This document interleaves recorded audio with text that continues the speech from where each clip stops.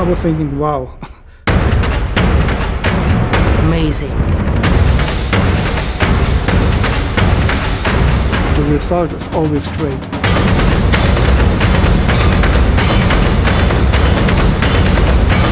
Very, very impressive.